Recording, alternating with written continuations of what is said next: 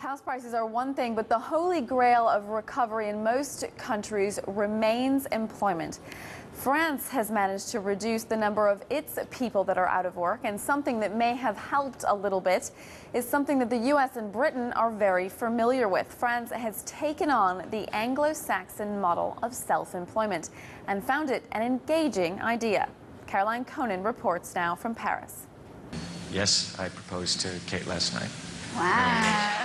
Tom Cruise thought the Eiffel Tower was the perfect spot to pop the question a lot of people do.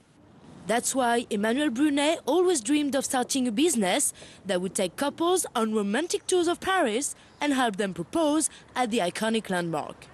Paris is, I think, the most wonderful city in the world. Last year, his dream came true thanks to France's newly created status of self employed. The self-employed status helped me to, to, to build my company because I can work at home. I have no charge to pay to start my, my this company. And uh, it's very easy. Uh, you just have to register online. Like Brunet, more than 300,000 French workers registered as self-employed last year, representing over half of the country's new companies. The status spares them France's high business tax, VAT and social security charges while they get on their feet. The government hopes the new system will curb rising unemployment and help revive the French economy. Pour euh, les trois premiers trimestres, le, le, for the first three quarters of last year, they've generated 500 million euros for the economy. I think we'll achieve our goal of 1 billion a year.